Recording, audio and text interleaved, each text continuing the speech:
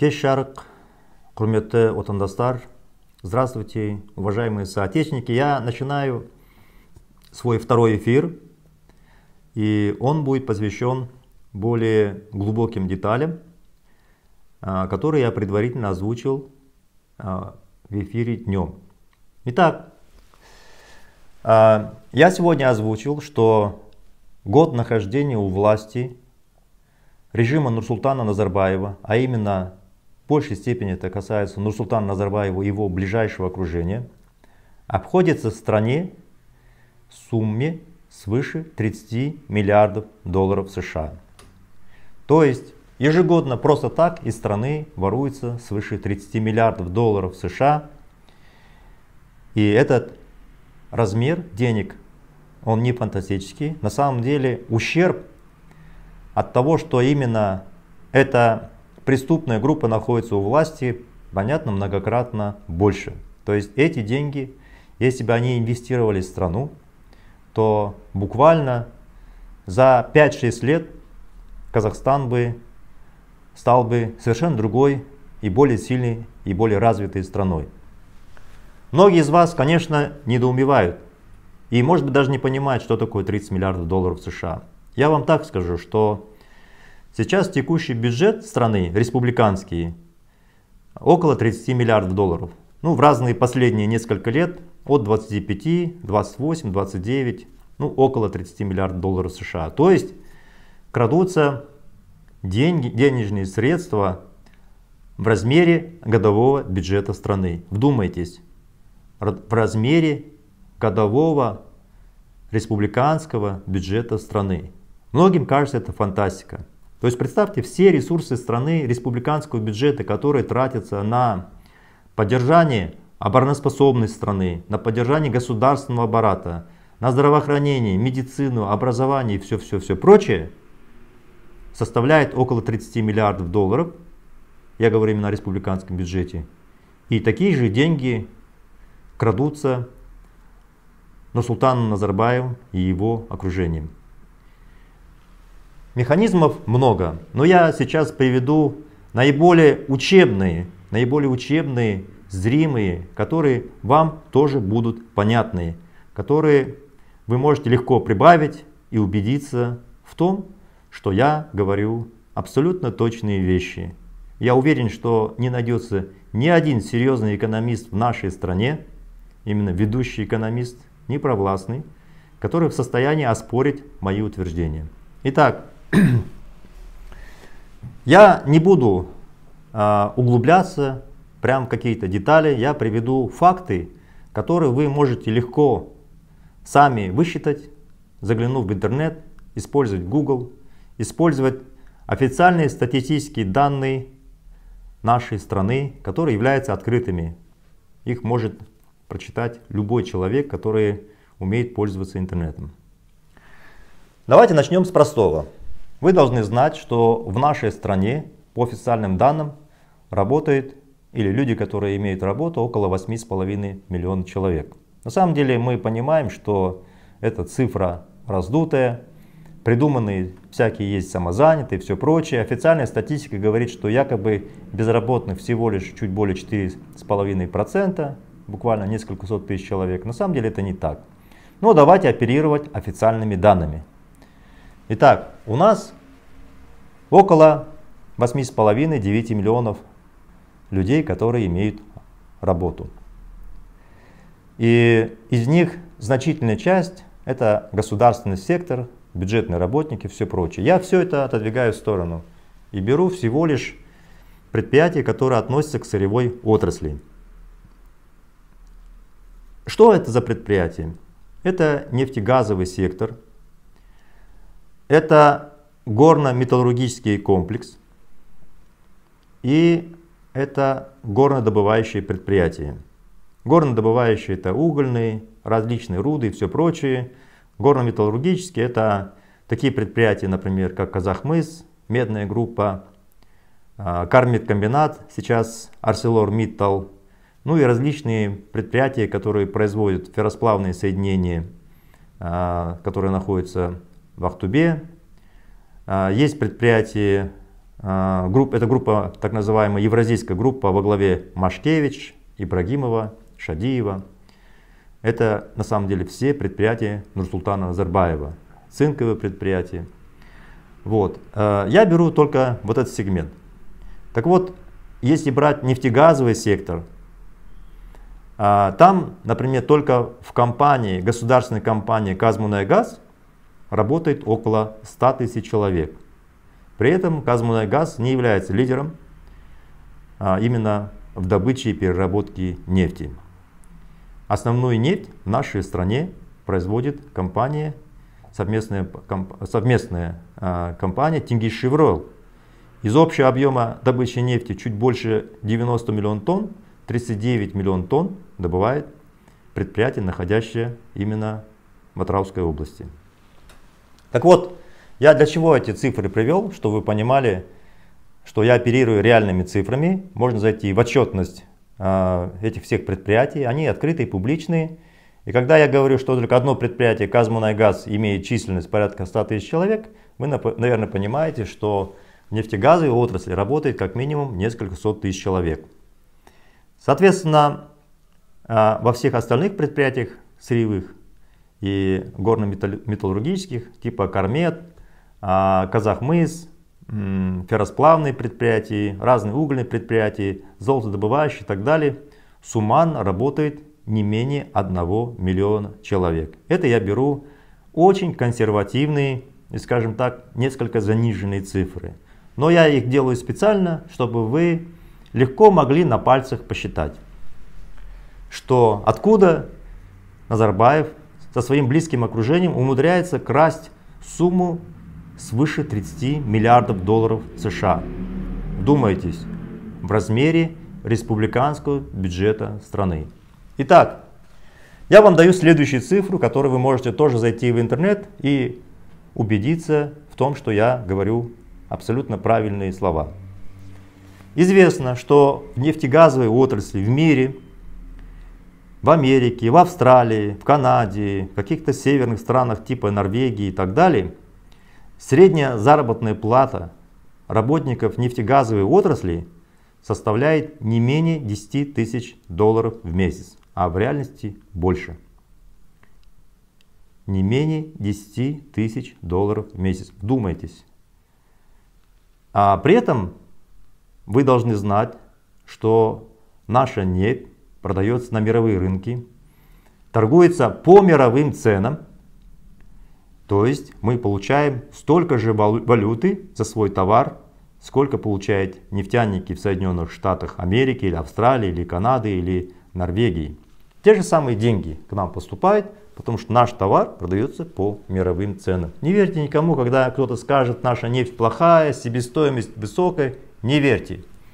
Потому что себестоимость добычи нефти у нас значительно ниже среднего. Ниже среднего по миру. Более того, у нас очень низкая себестоимость нефти в нашей стране. Относительно тех стран, которые платят своим работникам в среднем в нефтегазовой отрасли 10 тысяч долларов в месяц. Сколько же зарабатывают наши нефтяники? Я уверен, что сейчас меня слушают еще нефтяники нашей страны. Так вот, я вам скажу, козлординские нефтяники получают 100-120 тысяч тенге. Редко кто получает по кругу в среднем 150 тысяч тенге. Когда я произношу такие цифры, мне сразу звонят из Мангистау, говорят, я получаю 90 тысяч. Поэтому вы понимаете, что когда я назову среднюю цифру Э, в нефтяной отрасли 500 долларов, я не сильно ошибусь. Я еще более того завышу. То есть реальная зарплата, если в мире нефтяники получают порядка 20 тысяч долларов, наши нефтяники в среднем даже 500 долларов не получают. То есть заработная плата наших нефтяников минимум в 20 раз ниже, чем у их коллег в мире. Тогда возникает вопрос, а где деньги? Куда девается разница, это 20-кратная? Я уже много раз в своих выступлениях говорил, что эта разница попадает в карманы тех, кто контролирует и владеет предприятием, независимо от формы собственности. Если вы думаете, что государственная компания «Казмунайгаз» платит людям 500 долларов, а вот эти 20-кратная разница попадает в бюджет страны, вы глубоко ошибаетесь. Потому что наши нефтегазовые компании, они опутаны долгами, у них все время какие-то провальные проекты, реально там крадутся миллиарды, наносятся убытки государству, и эти деньги, по сути дела, когда наносятся убытки, они чьи-то карманы утекают. В чьи, зададите вы? В карманы Нурсултана Назарбаева, который построил кучу разных схем. Во главе со своим зятем Тимуром Кулебаем известно, что все продажи, основные продажи государственных компаний, государственных нефтегазовых компаний идут через подставные структуры Тимура Кулебаева и миллиарды долларов крадутся и выводятся за рубеж. Вот представьте, я вам дал ответ, что куда деваются деньги, они уходят в карманы Султана Назарбаева. Все те, кто работает в нефтегазовой отрасли, прекрасно знают, каким образом крадутся деньги именно эти, через эти нефтегазовые компании. Вставляются искусственные подрядчики, которые через строительные работы, другие монтажные работы раздувают счета и тоже через эти компании крадут сотни и сотни миллионов долларов. Я приведу следующие цифры. Возьмем предприятие, например, медной отрасли. Компания, группа компаний Казахмыс, она все время меняет название котировалась на лондонской бирже и чистая годовая прибыль за выплаты всех налогов была отражалась, показывалась на уровне около полутора миллиардов долларов в год. Но вся продукция, обратите внимание, тоже почти 100% продается на экспорт. То есть за эту продукцию наш производитель, группа компании Казахмыс, предприятия, которые находятся в Балхаше, Дисказгане, Сатпаево и так далее, они, работники, работающие на этих предприятиях, получают 100 тысяч тенге, 60 тысяч тенге, может быть кто-то и 150. Ну то есть одним словом порядка 300 долларов США. На аналогичных предприятиях мира стартовая заработная плата начинается от 3000 долларов в месяц. Вдумайтесь, если наши работники получают порядка в среднем 300 долларов, 100 тысяч тенге, там чуть больше, то на аналогичных предприятиях мира заработная плата начинается в среднем от 3000 долларов. То есть там 25 долларов в час платят водителю, охраннику, даже тем, кто прямо не работает на самом производстве. То есть это свыше 3000 долларов в месяц. И вот представьте себе, что эти предприятия платят своим работникам такие деньги и еще зарабатывают отдельно предприятию серьезные сотни миллионов долларов прибыли. Акционеры получают хорошие дивиденды с деятельности этих компаний. А что же получается у нас? Целые города, целые районы работают на группу компаний Казахмыс. За бесценок отдаются месторождения в эксплуатацию. Более того, я хочу вам сказать, что группа компании Казахмыс фактически получает бюджетные субсидии из республиканского бюджета. В 2013 году эта группа компаний получила около 3 миллиардов долларов бюджетных субсидий из республиканского бюджета. Вдумайтесь, частное предприятие получило в 2013 году различных субсидий порядка 3 миллиардов долларов США. Помимо всего, это предприятие, считающее монополистом, получающее огромные прибыли, входящие в десятки, десятку крупнейших предприятий мира именно в области добычи меди, получает субсидии от правительства Казахстана. Почему? Потому что это предприятие Нурсултана Назарбаева, а существующий якобы владелец Владимир Ким, он подставной. Вот я вам просто привожу пример э, медной отрасли. Теперь я вам приведу пример э, такие предприятия, как черная металлургия. То же самое. Инженер, который вот вчера закончил институт, свою заработную плату начинает свою деятельность от 5000 долларов. Вдумайтесь. Вот человек закончил институт, начинает ему платить от 5000 долларов. И зарплата работников этого предприятия меньше 3000 долларов в принципе не может быть. Сколько же получают наши работники на этом предприятии? Правильно, они тоже получают 100-150 тысяч тенге, те же самые 300 долларов. То есть десятикратно меньше платится, чем на аналогичных предприятиях мира. На аналогичных абсолютно. Одним словом, если вы возьмете все предприятия, которые я озвучил, Казцинк, Казахмыс, группа евразийская, которая производит ферросплавы, алюминий и все прочее, они все платят минимум в 10 раз меньше, чем на аналогичных предприятиях мира, при этом являясь лидерами в своих отраслях, как ферросплавная группа, вторая в мире, так медная группа, восьмая в мире. Каждое из перечисленных предприятий входит в десятку крупнейших предприятий мира по своему направлению. Таким образом, мы можем сказать, что в нефтегазовом секторе, в горной отрасли, в горно-металлургическом комплексе у нас работают работники и получают заработную плату в 10-20 раз меньше, чем в мире. 10-20 раз. Поэтому мы говорим, что когда правительство демократического выбора Казахстана возглавит правительство и будет сменен действующий режим Нурсултана Назарбаева, наши первые шаги будут включать то, что мы примем специальные законы, которые обяжут эти предприятия в среднем платить работникам не менее 1500 долларов в месяц в среднем, минимум. А в реальности наши люди должны зарабатывать так же, как и на аналогичных предприятиях мира. Вот теперь возьмем простую цифру. Возьмем миллион человек. Минимум 1000 долларов это предприятие не доплачивает. Не доплачивает, потому что собственником этих предприятий является Нурсултан Назарбаев со своими партнерами. Миллион человек умножим на тысячу долларов, получаем миллиард долларов. Значит, как минимум миллиард долларов в месяц эти деньги уводятся у нашей страны, они похищаются группой предприятий, о которых я говорю, всего лишь части. У нас свыше 8 миллионов работающих, а я беру только 1 миллион. И получается, что в этой отрасли минимум 1 миллиард долларов просто прямо крадется через заниженные заработные платы. Миллиард долларов умножаем на 12, значит вы просто на вскидку получаете 12 миллиардов долларов, которые прямо крадутся из ваших карманов. Далее.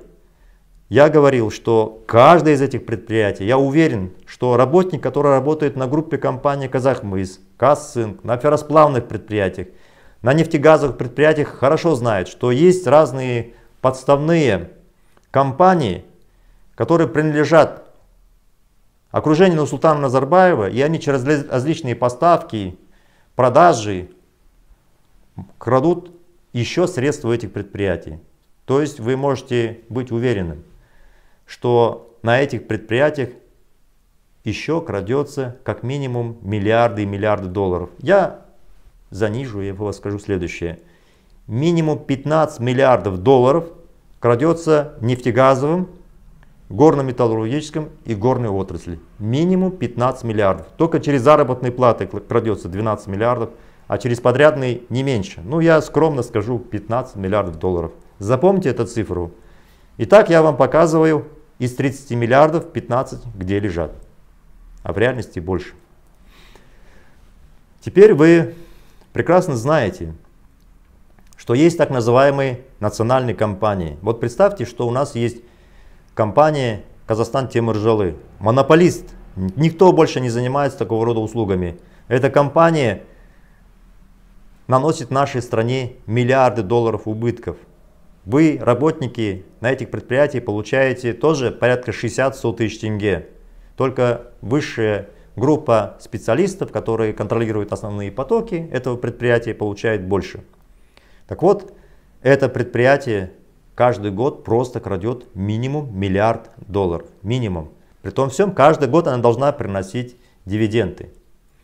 Я вам простые примеры сейчас приведу, чтобы вы понимали, как это выстраивается сумма 30 миллиардов. Я просто вам хочу сказать, что группа компаний, например, а, Казахмыс, ее рыночная стоимость была не меньше 20 миллиардов долларов. И в бюджет нашей страны ничего не попало.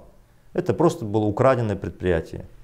Группа компаний Евразийская, которая тоже миллиарды долларов в год зарабатывает прибыли, стоит минимум 20 миллиардов долларов. Можно официально зайти и посмотреть их рыночную стоимость, балансовую стоимость, какими они активами владеют. Эти все предприятия, каждый стоит минимум по 20 миллиардов, они тоже просто бесследно исчезли.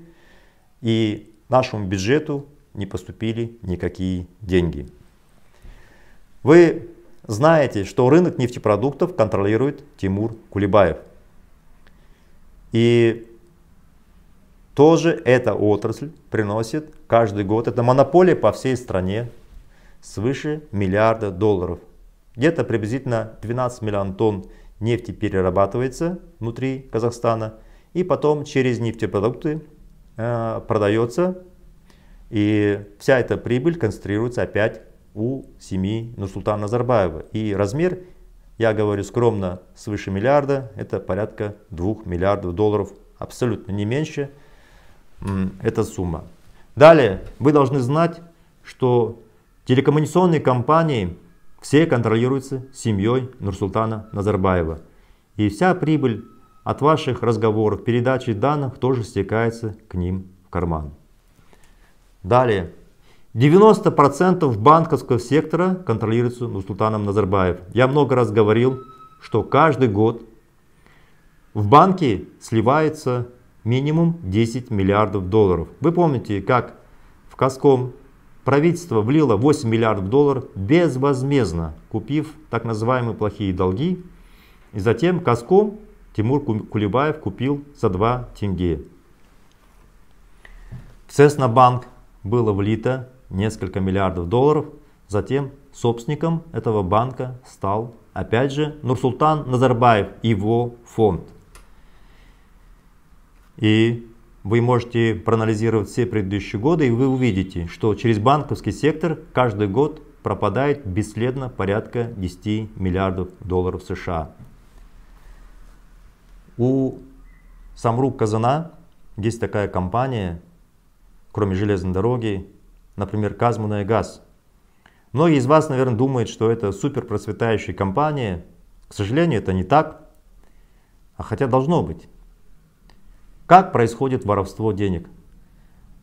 Тимур Кулебаев получил монополию на продажу нефти. Фактически все основные продажи нефти идут через его подставные компании, и основная прибыль концентрируется у него. Это тоже миллиарды долларов. Через подрядные работы, через торговые разные сделки, через переработку нефти, ну и очень известная сделка, когда была куплена румынская группа нефтегазовая со старыми заводами 40-х годов. В нашей стране даже таких заводов нет. У нас заводы 80-х годов, 86-го года. Атраусский был завод вообще 46-го года.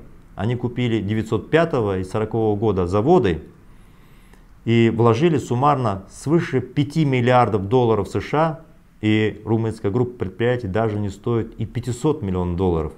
То есть, представляете, человек сидит на нефтяной трубе, на газе. Он сидит на всех подрядных работах, типа Кастрой-сервис, который он приобрел за 10 миллионов долларов и на следующий день объявил, что рыночная компания свыше миллиардов долларов. Так вот, нефтегазовый сектор тоже просто уходит отдельно миллиарды долларов под эгидой, что якобы это государственные компании. Я вот вам привел буквально по-крупному ряд примеров, но у нас же есть еще агросектор, есть агрокомпании разные, которые, в которые вливаются государственные деньги, и они якобы субсидируют зернопроизводство. И опять вы должны знать, что миллионы гектаров земли находятся под контролем зятя Тимура Кулебаева. Вы должны знать, что дорожное строительство тоже контролирует семья Нурсултана Назарбаева, когда миллиардные займы идут в страну, и на эти деньги строятся дороги, опять эти подрядчики, все подконтрольны семье Назарбаева.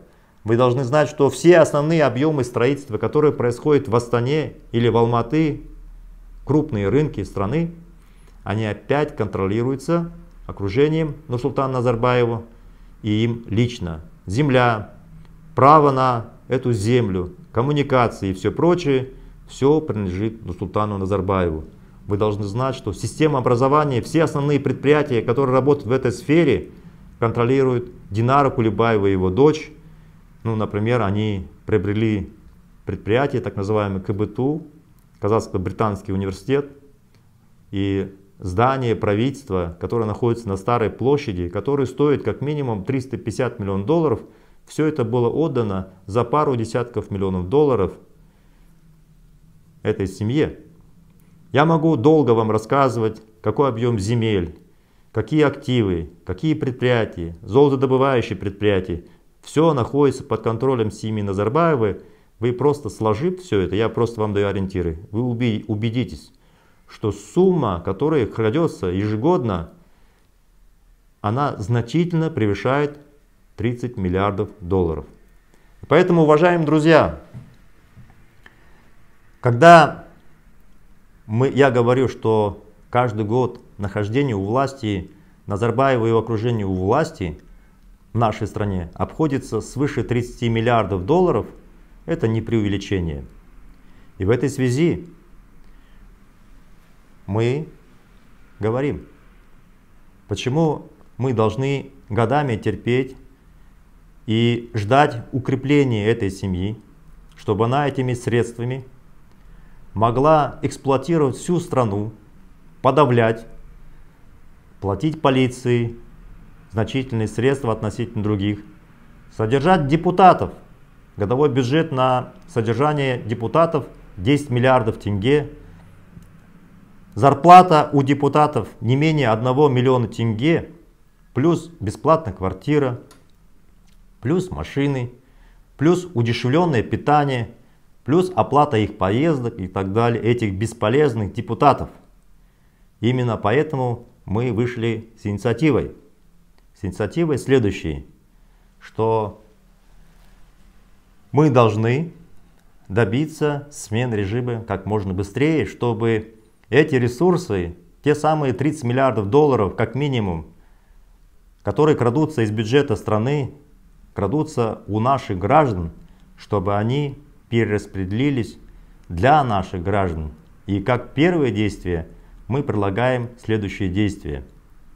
Для того, чтобы добиться смены режима, нам достаточно всего лишь 3-5% в каждом населенном пункте. А если по-крупному, полмиллиона человек, которые выйдут на улицы, достаточно для мирной смены режима. Никакая полиция, никакая армия не сможет противостоять такому количеству людей. Более того, это ваши дети, ваши братья, ваши мужья, ваши соотечественники, ваши знакомые. Они безусловно перейдут на сторону народа. Мы постоянно получаем сигналы от полицейских, военных. Они говорят, организуйте большой выход людей, и мы перейдем на сторону народа. В наших рядах есть настоящие полицейские, есть бывшие полицейские, в наших рядах есть военные, в наших рядах есть, я откровенно скажу, и бывшие работники спецслужб, как КНБ, и настоящие. Я не называю фамилии, я вам просто говорю. Наше движение очень широкое. Она представляет все слои нашего общества. И поэтому я обращаюсь сейчас к нашим гражданам. Сначала к полицейским, военным. Мы сегодня озвучили, что все те, кто объединившись, добьются смены власти, должны, безусловно, что называется, добиться не просто смены режима, они как бы вместе с нами, мы вместе добиваемся смены политического режима, смены курса, построения справедливого государства. И, как правило, на острие оказывается не более 3-5%. Я считаю, что эти люди, которые несут бремя, бремя риска, бремя проблем, их сажают в тюрьмы, закрывают на 10-15 суток. Есть такие, которые уже годами сидят в тюрьме, они должны быть вознаграждены, их потери должны быть каким-то образом обществом оценены и компенсированы. И мы говорим следующее, что та часть общества, которая выйдет вперед и добьется перемен, именно смен режима, именно смены, мы должны идентифицировать таких людей. И идентификация очень простая. Когда каждый из вас на этих митингах может снять видео именно в массе. Каждый из вас может прислать протоколы, которые свидетельствуют о преследовании со стороны полиции, решении судов против вас. Когда мы объединенными усилиями в один из дней добьемся смены режима, я считаю, каждый должен быть вознагражден и компенсированный хоть как-то ваши усилия. Этот размер мы сегодня определили 10 тысяч долларов на человека, который боролся с этим режимом, который помог добиться смены режима. Эта сумма на самом деле небольшая. Я даже так сегодня посчитал и сказал, что даже если миллион человек выйдет, это порядка всего лишь 10 миллиардов долларов США. И не забывайте, что каждый день эта преступная группа ворует сотни миллионов долларов и по году свыше 30 миллиардов долларов США. Мне сегодня некоторые писали, что это неправильное решение якобы, что многие идут из других соображений. Это правда. Я тоже иду из других соображений. И таких, как я, много. Их тысячи. Но если вам эти деньги не нужны, вы можете пожертвовать его на благотворительные цели, детским домам. Это ваше право.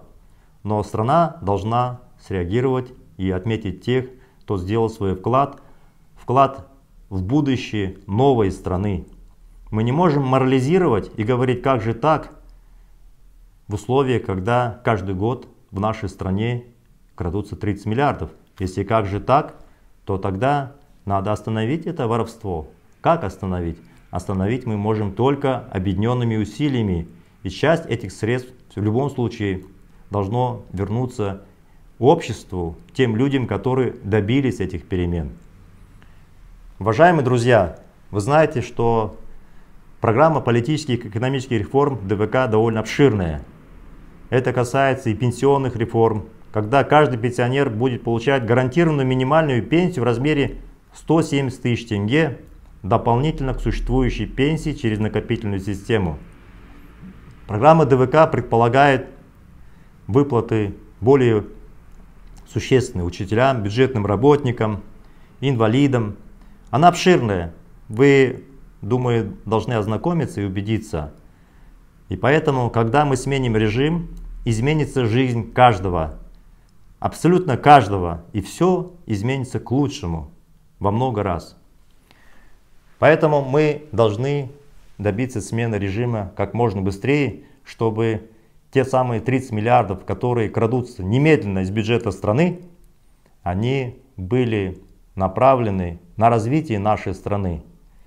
Также мы объявляем, что все те, кто сейчас страдает от этого режима, их задерживают на двое, 5 суток, 10 суток, их штрафуют, они будут также отмечены правительством демократического выбора Казахстана – мы определили размер компенсации в размере 1 миллиона тенге, который будет выплачен всем тем, кто прошел через административные аресты и штрафы. Сегодня же я объявил о том, что пострадавшие именно в событиях Жанаузень, именно жертвы, их семьи получат по 100 тысяч долларов именно за тех, кто погиб в событиях Жанаузени. Я Хотел бы здесь еще отдельно упомянуть про политических преследуемых по религиозному признаку. Я знаю, что очень много людей осуждены этой системой, режимом Назарбаева. Я знаю, что за религиозное убеждение преследует эта власть и заявляю, что это является недопустимым ни по нашей действующей конституции, ни по международным договорам, которые подписал Казахстан. И мы, правительство демократического выбора Казахстана реабилитируем всех тех, кто пострадал за свои религиозные убеждения. Это узники совести, Люди, пострадавшие за свои убеждения, это узники совести. Они тоже должны быть отмечены за все те страдания, которые они понесли именно в результате действий режима Нусултана Назарбаева. Наше общество должно им компенсировать хоть каким-то образом. Конечно, ты не вернешь им здоровье, не вернешь их годы, но тем не менее общество не должно забыть о таких люди, людях. И возможности у нашей страны есть. Хотел бы вам напомнить, даже сейчас, когда происходит тотальное воровство, золотовалютные резервы общие составляют 87 миллиардов долларов США. Был период, когда их размер был более 100 миллиардов тенге, долларов. Несколько лет назад национальный фонд пополнялся ежегодно от 7 до 15 миллиардов долларов США. Ежегодно. Сейчас национальный фонд все время уходит вниз. Это связано в первую очередь с тем, что этот режим усилил масштабы воровства, усилил. И те цифры, которые я озвучил, они просто являются консервативными и скромными. И мы должны прекратить все это, остановить их. Мы создадим региональные комиссии во всех крупных городах, представители от общественности, которые получат доказательства, свидетельствующие о том, что вы участвовали в наших акциях протеста против режима Султана Назарбаева. Подтверждение принимается в виде фотографий, видео, различных протоколов, включая даже свидетельские подтверждения ваших знакомых, друзей и кого-то еще. И мы должны компенсировать людям все те потери, которые они понесли, когда происходила борьба с режимом. Я еще раз хочу уточнить. Размер 10 тысяч долларов выплачивается именно такой размер тем, кто участвовал финальной борьбе именно в тот день произошла смена политического режима Нурсултана Назарбаева. А по миллион тенге выплачивается тем, кто каким-то образом пострадал, попал под аресты, под штрафы и так далее. Мы еще раз это объясним. А, я напишу ряд постов. Сегодня в чате активист Telegram я проведу еще разъясняющие эфиры. И еще раз хочу напомнить тем моралистам, которые говорят, что якобы ДВК кого-то покупает. Нет, это не так. ДВК напоминает. ДВК перераспределяет те самые 30 миллиардов долларов, которые ежегодно похищаются, мы должны остановить и часть этих средств направить гражданам нашей страны, которые добились или добиваются этих политических перемен. Поэтому, уважаемые друзья, это на самом деле новая наша инициатива, она реальная.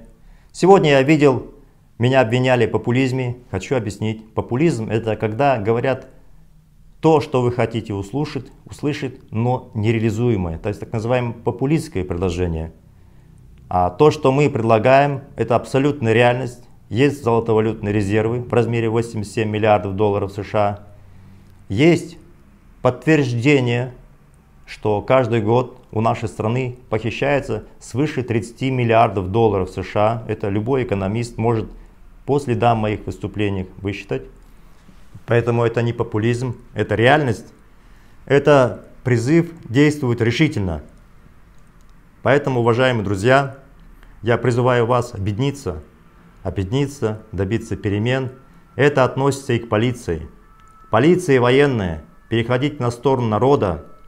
Вы, безусловно, попадете в эту программу, вы получите компенсацию в размере не менее 10 тысяч долларов за то, что вы способствовали смене режима Нусултана Назарбаева. Также не забывайте, что есть программы, социальные программы для полицейских и военных. Не забывайте, что наши полицейские в новой демократической стране будут получать стартовую зарплату 1000 долларов. И в зависимости от ранга, от должности, эта заработная плата будет распределяться до 5000 долларов в месяц. Поэтому все, что будет предлагать вам этот режим, это все не соответствует даже близко тому, что вы будете получать в демократической стране. Ни один экономист в стране не найдется, кроме популистов, которые будут навешивать на меня разные ярлыки, обзывать популистом, все прочее, ни один. который смог бы аргументированно разложить цифры и сказать, что мои слова, популизм, не соответствует экономике, ни один человек не найдется, потому что я ответственно заявляю, все расчеты мной продуманы и сделаны. Поэтому, уважаемые друзья, знаете, мы живем в богатой стране, очень богатой стране, но при этом основная часть населения у нас бедная и нищая, и мы должны прекратить это и построить великую страну, великую и свободную. Алга Казахстан.